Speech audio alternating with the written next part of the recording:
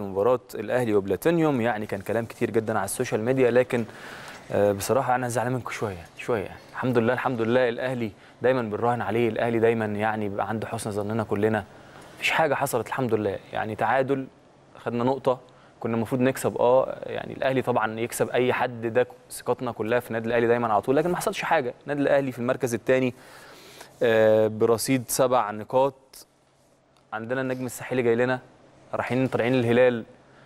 أنا شايف إن مفيش أي مشكلة الحمد لله يعني.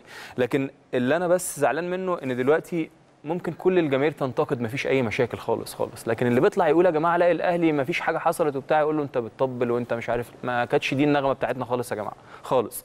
فإحنا عايزين دايما آه، إحنا الأهلي الحمد لله والشكر لله. الأهلي دايما عند حسن ظننا زي ما قلت قبل كده الأهلي دايما إحنا متعشمين هو بيكسب اي حد لكن في كورة وفي ظروف وفي حاجات حصلت في آه، قفشة اتصاب في وليد سليمان اتصاب عندك اتنين أصلا بيحركوا الملعب اتصابوا مفيش أعذار.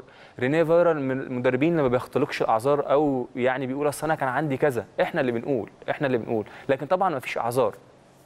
الاهلي يكسب آه، ما كناش في ظروفنا خالص آه، الدنيا ما كانتش كويسة. وارد جدا في الكورة كل الكلام ده. لكن إحنا بقى نبدأ نصدر حاجة هي مش موجودة أصلا يعني إحنا ليه بنتشائم؟ ليه بنتشائم؟ ده إحنا عندنا فريق اسمه النادي الأهلي. النادي الأهلي.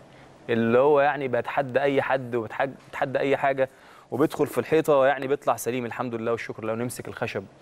فدايما ورا لعيبتنا دايما ورا فرقتنا دايما متفائلين. ده بالعكس بالعكس. امال بقى الناس التانية يعملوا إيه يا جماعة بقى؟ مش عايزين نتكلم بقى مش عايزين نتكلم يعني. ده إحنا مباراة اتعادلنا فيها وخلاص خدنا نقطة في المركز الثاني إن شاء الله إن شاء الله هنكسب. إن شاء الله إن شاء الله بإذن ربنا هنكسب النجم الساحلي بلاعيبتنا الرجاله آه، بمدربنا اللي كلنا آه، ثقه وامل كبير جدا فيه.